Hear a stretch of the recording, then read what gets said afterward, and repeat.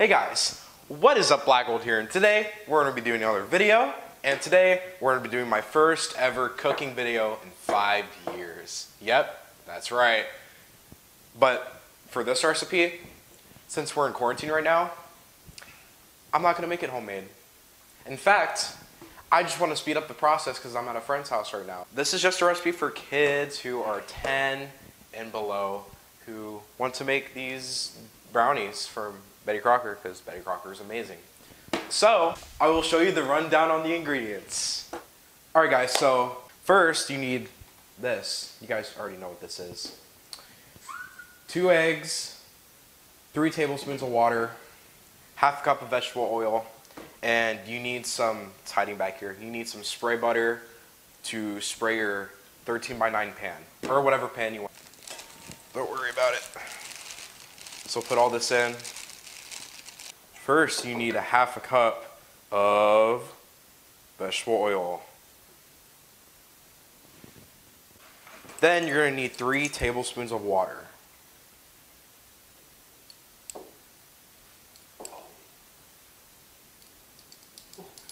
Next, you're to need two eggs.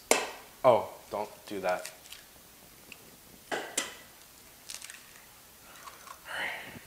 Also, guys, just to clarify, please wash your hands or else.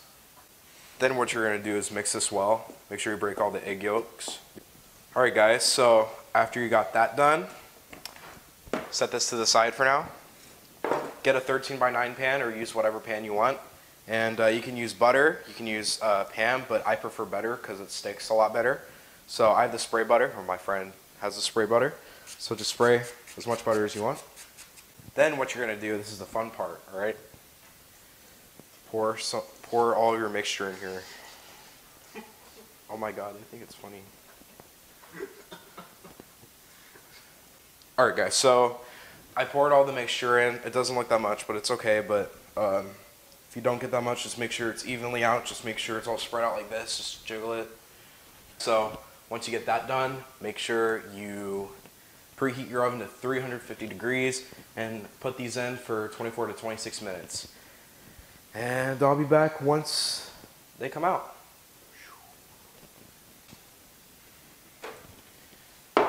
Here, here it is. Whew.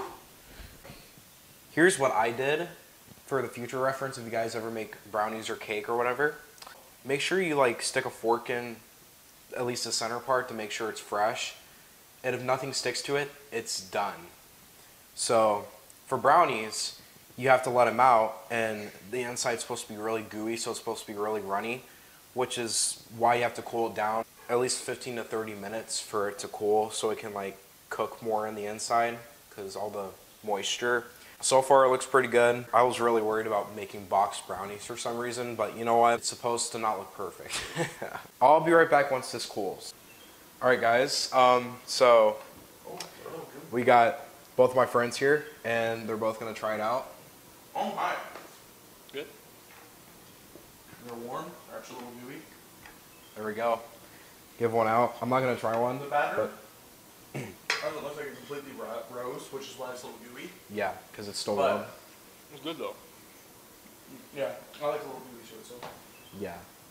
That's how brownies are originally definitely gonna be. recommend. Good.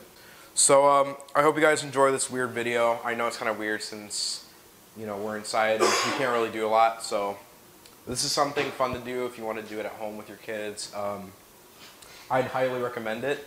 So yeah, I will see you guys in the next episode. And may the force be with you. Peace out, homies.